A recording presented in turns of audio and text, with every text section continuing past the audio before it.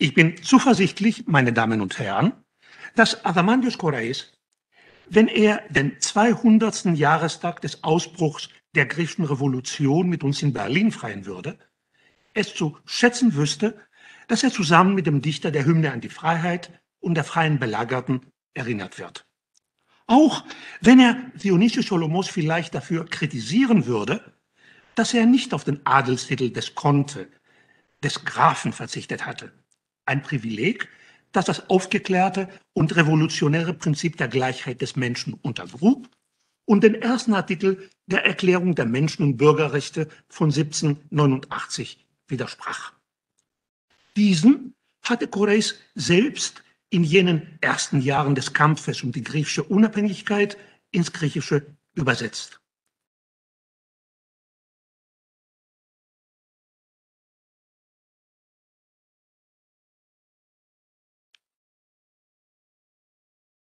Οι άνθρωποι γεννώνται και μένουν ελεύθεροι και ίσοι κατά τα δίκαια. Menschen sind und bleiben von Geburt frei und gleich an Rechten. Auch trotz dieses Einwandes gegen den Dichter Ausakinthus, der seine Formation einer hybriden Zone italienisch-venezianischer Tradition, deutsch-idealistischem Kosmopolitismus und griechisch-nationalen Projektionen verdankte, würde er zweifelsohne seine Gesellschaft vorziehen, jener paradoxen Koexistenz vor den Propyläen der Universität Athen Da gibt es ein Problem, fürchte ich, mit dem, der PowerPoint-Präsentation. Mit der Statue des Patriarchen Gregor V., der vor der Revolution ein passionierter Gegner der Verbreitung des Gedankenguts der französischen Aufklärung in den griechischen Bildungsstätten war, geschweige denn ab 1931 mit der Statue des Grafen und Bevollmächtigten des Zaren im Wiener Kongress von 1815 Johannes Kapodistrias, der denn die dritte Nationalversammlung in Trisina im März 1827 zum ersten Regenten Griechenlands gewählt hat und Koreis trotz anfänglicher Sympathie und Unterstützung als Tyrannen stilisierte, als er während der Staatsbildung die Verfassung von Trisina und deren Bürgerfreiheiten außer Kraft setzten. Immerhin war im 1874 die Statue von Regas Velestinlis vorausgegangen, des tapferen Mörderers der Freiheit, wie Koreis in der anonymen Broschüre Adelphiki Didaskalia, brüderliche Unterweisung über ihn schrieb. Regas, der 1797, ein Jahr vor seiner Hinrichtung, den ersten Verfassungsentwurf im Osmanischen Reich erstellte, nach dem Vorbild der Revolutionsverfassung der Jakobiner von 1793. Die Statue von Rigas weihte während der Festlichkeiten zum 50. Jahrestag der Revolution das skulpturale Pantheon der Freiheit der Griechen an der heutigen Panepistimiusstraße ein. Noch ein wirksamer Kompromiss der modernen griechischen Ideologie, um mit Capacita de Maras zu sprechen, dem Forscher, dem die Neograzistik die Vorreiterrolle in der systematischen Erforschung der neugriechischen Ideengeschichte verdankt. Der effektive Kompromiss der modernen griechischen Ideologie, der Ideologie, die sich in Griechenland der postrevolutionären Zeit tatsächlich herausbildete, während der politischen Romantik des nationalen Königreichs, liegt natürlich in, Monument, in der monumentalen Koexistenz verschiedener und gegensätzlicher historischer Figuren sowie in der stillschweigenden Beseitigung aller entscheidenden Unterschiede zwischen ihnen. Es sind aber genau diese Unterschiede, die für einen reflektierten und kritischen Umgang mit der eigenen und der transnationalen Geschichte von Bedeutung sind, bei einem Jahrestag wie dem diesjährigen an Aktualität gewinnen und unsere Erwartungen für die Zukunft mitprägen. Wie haben die Akteure, aber auch Akteurinnen von damals das Ideal der Freiheit Griechenlands konzipiert und ihr Handeln auf der Basis dieser Konzeptualisierungen mit der Feder oder mit dem Schwert ausgerichtet? Was Adamantis Korais und seine Auffassung von der Freiheit der Griechen betrifft, So betonte bereits 1963 Capacita de Maras, dass das entscheidende Thema seiner Schriften das folgende sei. Der Mensch in der politischen Gesellschaft und natürlich für Koreis besonders der griechische Mensch in der politischen Gesellschaft. Ich zitiere, der Mensch, verwundet durch Ungerechtigkeit, durch Freiheitsberaubung, der in der Bildung seiner Zeit das Material findet, das seine Bitterkeit entfacht und das Material, das sie zu Lösungen für die Erlösung kanalisiert. Seine doppelte Erfahrung, die individuelle und die nationale, rational informiert durch die Lehre der Werke, die ihn das Denken lehrten, bringt ihn zu den einfachen Mustern des Hasses auf den Tyrannen und der Unterstützung der Aufklärung. Aus diesen Gründen hat der Begriff der Freiheit in seinem Werk eine eigentümlich universelle Konnotation. Er, der mit seiner außerordentlichen Sensibilität die griechischen Angelegenheiten mit denen des Westens vergleichend unter einem harten, fremden Joch lebte, beschränkt seine Theorie nicht, wie man erwarten könnte, auf die nationale Freiheit, die nationale Unabhängigkeit. Er fordert, dass der Mensch universell frei ist. Statt Ende. Wie die Verflechtungen der Forderung nach nationaler Freiheit, der Freiheit der Griechen, mit dieser universellen Freiheit, dem freien Menschen, im Denken und Handeln von Korais zu verstehen ist, steht offensichtlich im Vordergrund unserer heutigen Frage. Mit anderen Worten, wie hat Korais der vielleicht zentralste Intellektuelle des griechischen Nationalismus während des Übergangs vom Osmanischen Reich zur modernen Nationalstadt und einer der wichtigsten Figuren in den transnationalen Beziehungen der 1820er Jahre, die die griechische Revolution zu einem europäischen Ereignis gemacht haben. Hat Korais als Akteur der griechischen nationalen Erhebung die politische Gesellschaft konzipiert, in der es, wie er 1825 an die politischen und militärischen Behörden in Nachplion schrieb, kein anderes Mittel zur Vorbereitung auf die Freiheit und zu ihrer Bewahrung gibt, als in den Worten des Apostel Paulus die Erziehung zur Gerechtigkeit. Im Vorwort des 1831 erschienenen kommentierten Übersetzungs der Pastoralbriefe von Paulus an Timotheus und Titus war Koreis jedoch unerbittlich über das Ergebnis der Bemühungen, als er dafür eintritt, dass Griechenland von beschnittenen Türken befreit worden ist, um von unbeschnittenen Türken, das heißt von Griechen mit tyrannischen Methoden, regiert zu werden.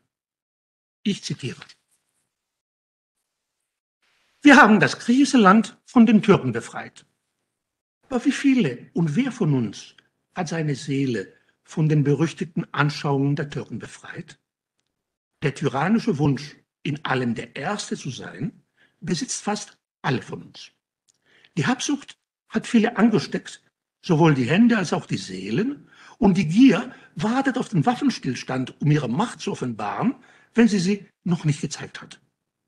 Wir haben uns die Freiheit vorgestellt, nicht als Gleichheit an den Rechten der Bürger, wo niemand ungerecht ist oder ungerecht behandelt wird, sondern als die Macht zu tun, was wir wollen, wie die törichten Gorfioten, die einst für den Missbrauch der Freiheit verurteilt wurden.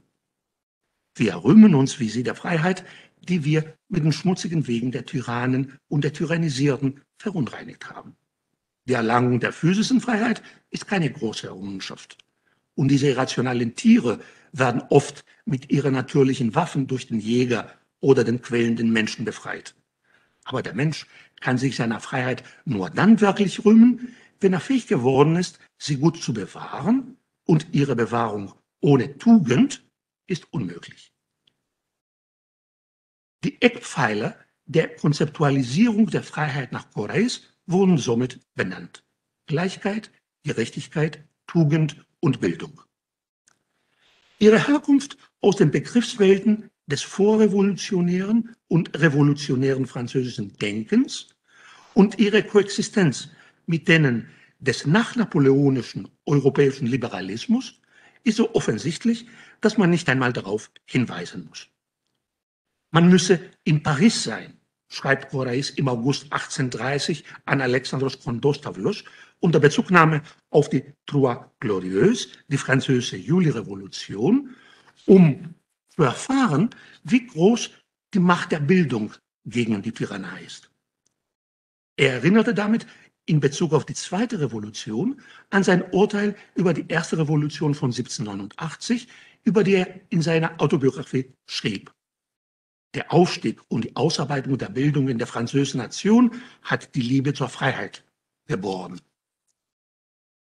Die Gemüter der Franzosen sind so entflammt, dass man nichts anderes hört als Tod oder Freiheit, schrieb er in seinen Briefen aus Paris nach Smyrna im letzten Jahrzehnt des 18. Jahrhunderts und transferierte damit auf das Osmanische Reich dieselbe Bedeutung von Freiheit und Aufopferung im Namen des glorreichen Todes, die Rivers in seinen bekannten Versen ausgedrückt hat.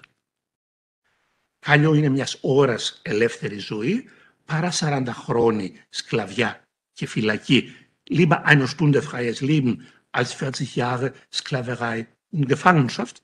Ebenfalls ein Transfer, das ist die wahrscheinliche Quelle der Inspiration von Rigas, aus Joseph Edisons republikanischem Theaterstück Cato a Tragedy.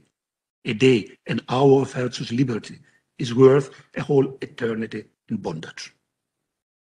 Offensichtlich war auch die Begeisterung von Corais für die wunderbare Nation der Engländer, die einen extremen Grad an Weisheit und Wissenschaft und das Süßeste von allem an Freiheit erreicht, sowie eine Gesetzgebung vorangetrieben hat, auf deren Grundlage jeder die Macht hat, Kontrolle auszuüben und in der Presse gegen die Ungerechtigkeiten des Königs selbst zu veröffentlichen. Diese heilige Freiheit, notiert Horace an anderer Stelle, herrschte auch in Athen. Aber da sie keine Zeitung, Zeitungen hatten, entledigten sie sich alle Beschwerden, die sie gegen die Herrscher hatten, hitzig im Theater. Und die Komödien von Aristophanes sind voll davon. Als Zeuge der Überführung von Voltaires Gebeinen in das Pantheon am 10. Juli 1792 gab uns Corrèze eine Beschreibung, die seine Sichtweise auf die Verschränkungen zwischen Schwert und Feder erhält. Die Kämpfer, Leonidas und Miltiades, reichen nicht aus. Die Gesetzgeber, Aristides und Solon, sind erforderlich. Im Sarge war die Inschrift. Dichter, Philosoph, Historiker er machte einen großen Schritt vorwärts im menschlichen Geist. Er bereitete uns darauf vor, frei zu werden. Vor dem Wagen stand eine andere Statue Voltaires, auf einem Thron sitzend und um ihn herum die Bilder aller großen Männer auf Stangen getragen, wie Rousseau, Mirabeau und dergleichen. Nach dieser sitzenden Statue in einer kleinen Bibliothek alle seine Bücher in 70 vergoldeten Bänden. Sein erstes Buch war eine Tragödie, Ödipus genannt, wie die, die vor Voltaire auch unser Sophokles schrieb. In diesem Klima der Resonanzen, der Freiheit der Modernen, der Engländer, Amerikaner und Franzosen und der Freiheit der antiken Athener konnte die Freiheit der modernen Griechen nicht so verstanden werden, wie das gemeine Volk sie wahrnahm. An seinen Freund Dimitrios Lotos in Smyrna schrieb er, Liebe doch die Russen, so viel du willst. Ich bin nicht dagegen. Ich fürchte nur, dass du in deiner Weisheit die Freiheit der Griechen nicht so beurteilst und so erhoffst, wie das gemeine Volk es tut. Die meisten Griechen wünschen sich heute die Freiheit nicht, um weise zu sein und die sklavischen und barbarischen Sitten mit besseren zu ersetzen. Nicht um wahre Hirten nach Hammer der Apostel zu haben, statt der Wölfe, die sie heute unterdrücken, sondern sie wünschen sich, um die Liturgien der Kirche der Hagia Sophia hören zu können, um leichter die Pilgerfahrt nach Palästina zu machen, als ob die Liturgie des heiligen Georg oder der heiligen Fotine in Smyrna nicht so gut wäre wie die der Hagia Sophia, als ob Gott an von Menschen gemachten Orten lebte und irgendeine andere Anbetung und Verehrung vorzöge als die in Geist und Wahrheit.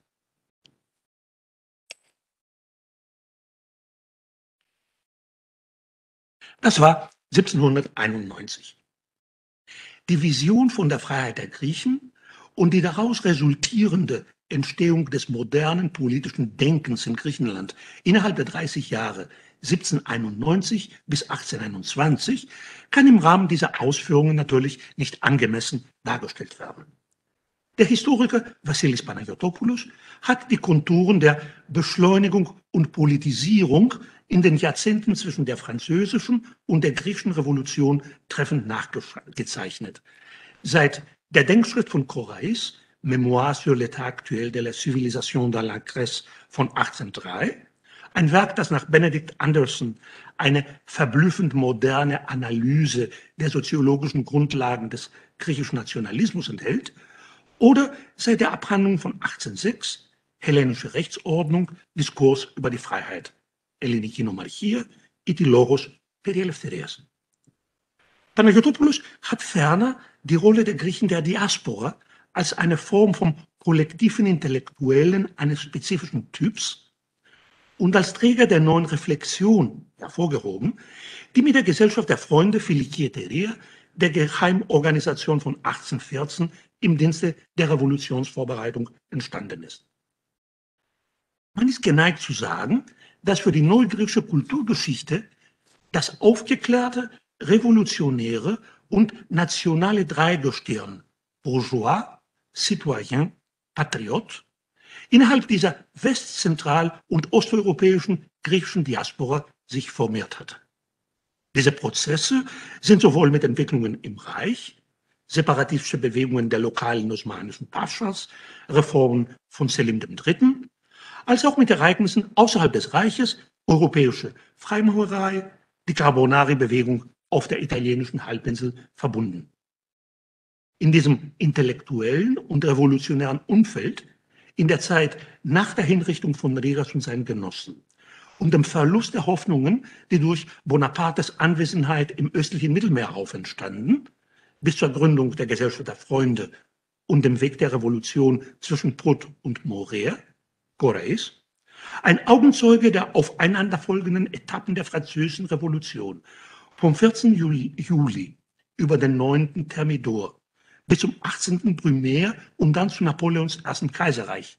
Goreis hat sich in der Ära der französischen postrevolutionären Melancholie für die Sache der griechischen sittlichen Regeneration, der Regeneration Morale, eingesetzt.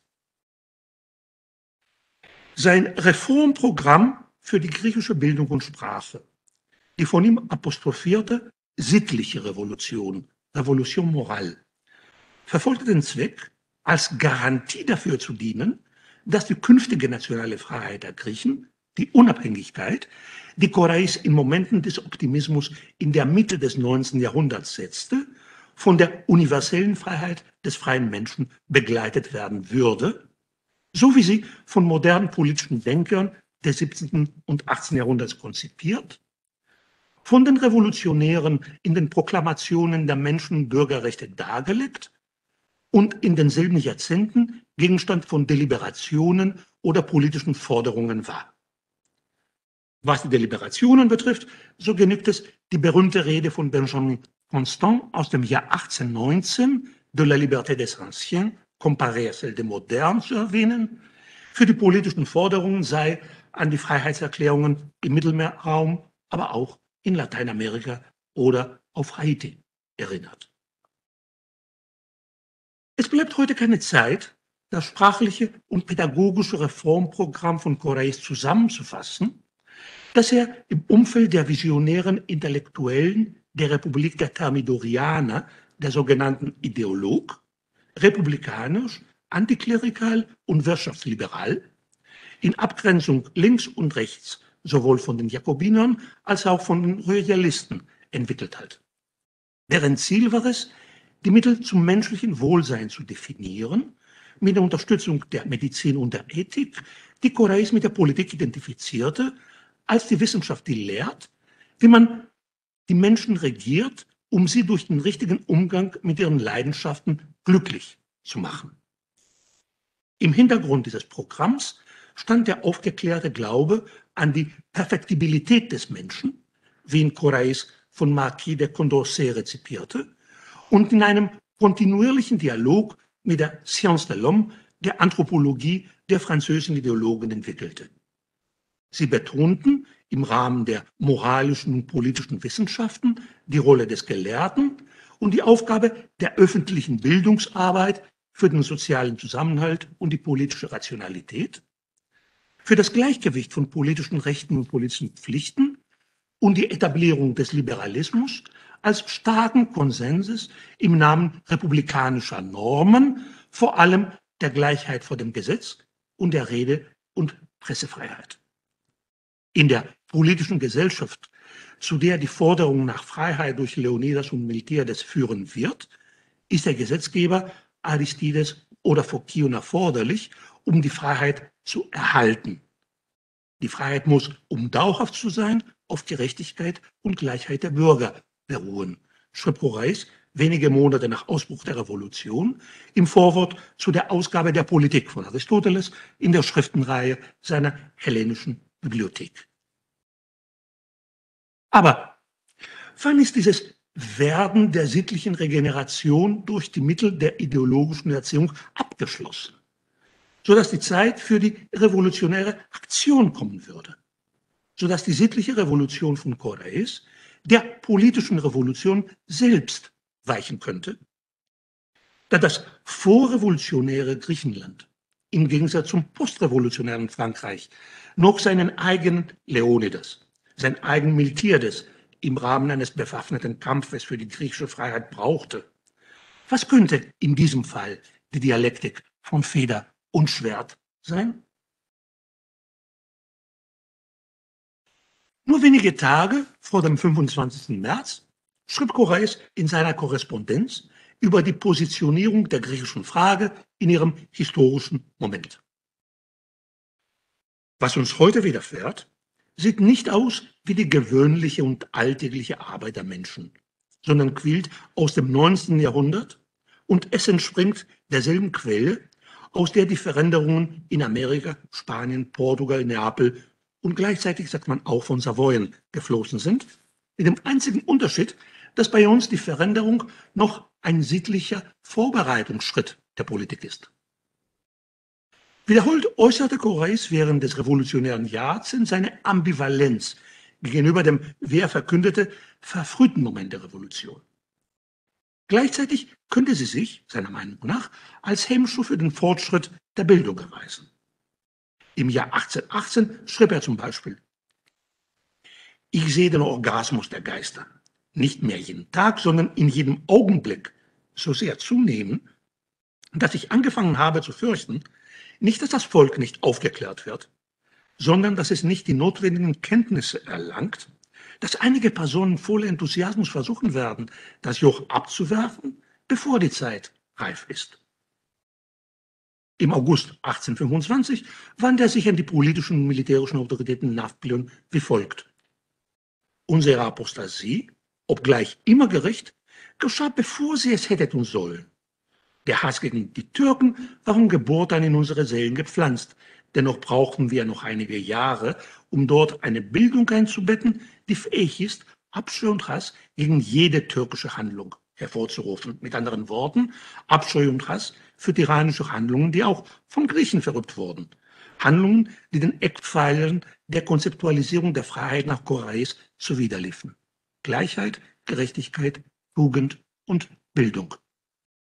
Aber wie die Historikerin Alice Copeter 1987 in einem frühen Artikel mit bitterer Ironie kommentierte, hier haben wir mit nichts Geringerem zu tun als mit der Forderung, dass die Geschichte stillstehen soll, bis die Griechen die Moderne eingeholt haben.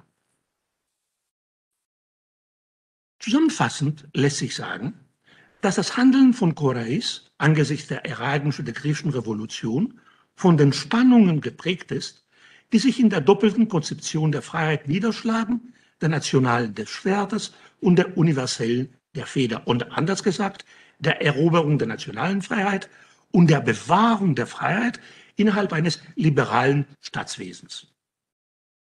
Ich bin verrückt in der Liebe zur Freiheit, aber ich liebe auch, mein Freund, die Gerechtigkeit. Freiheit ohne Gerechtigkeit ist reiner Raub. Dies schrieb er während der Französischen Revolution und dies wird sein facettenreiches Handeln zwischen 21 und seinem Tod 33 leiten. Sowohl seine zentrale Rolle innerhalb der transnationalen Netzwerke des Philhellenismus als auch das deliberative Genus der Rhetorik, das er in seinen politischen Essays und seiner Korrespondenz pflegt. Dies ist nicht der Ort, um einen Überblick über den unermüdlichen Feldzug von Koreis für die Freiheit der Griechen zu geben, denn dazu müsste man die langen Prolegomene, die Dialoge und die anonymen Pamphlette, die er in diesen Jahren veröffentlichte, mit einbeziehen. Vielleicht sollten wir jedoch abschließend lediglich auf das Ziel aufmerksam machen, das er als äußerst dringlich erachtete. Die Einrichtung einer Bibliothek der Freiheit, des Wissens der antiken und modernen Denke, die die Zukunft der politischen Gesellschaft in Griechenland garantieren könnte. Borés selbst nannte in seinem Vorwort zu Plutarchs philosophischen und politischen Ratschlägen von 1824 dieses Wissen Episteme des Eleftherias, Wissenschaft der Freiheit. Im Zentrum dieser Wissenschaft stand die lexikographische Arbeit von Korais, eine Arbeit, die dem entspricht, was Michel Foucault im Kontext der klassischen Episteme als Kritik bezeichnet hat und die sich artikuliert durch eine Befragung der Worte und der Bestimmung der Beziehung zwischen dem Intellekt, den Worten und der Welt, die sie repräsentieren. Im Fall der Freiheit der Griechen bestand für Korais die dringende Notwendigkeit, den Begriff der Freiheit ständig zu definieren und gleichzeitig jene Vokabeln zu bilden, die den modernen griechischen State-Building-Prozess als einen vom liberalen Konstitutionalismus beherrschten Nationalstaat informieren sollte.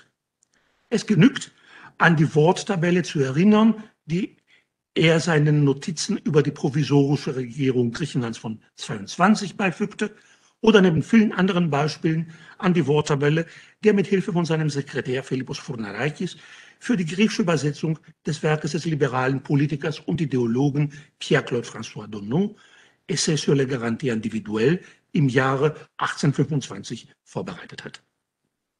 So schrieb er im Vorwort zur Politik von Aristoteles vor genau 200 Jahren. Wenn wir betrachten, wo die Zwietracht in den Nationen geboren wird, werden wir keine andere Quelle finden als die Unkenntnis der Bedeutung gewisser Worte, die jeder Mensch täglich im Munde führt, aber nur sehr wenige kümmern sich darum, ihre wahre Bedeutung und ihren Sinn zu lernen. Wer spricht nicht auf die Namen Wohlsein, Tugend, Gesetz, Freiheit aus? Aber wie viele von denen, die sie aussprechen, verstehen wirklich die Dinge, die sie bedeuten? Und doch ist aus der Ungewissenheit darüber das Elend aller Nationen entstanden. Lassen sie also untersuchen, wie alte und neue Philosophen sie verstanden und erklärt haben.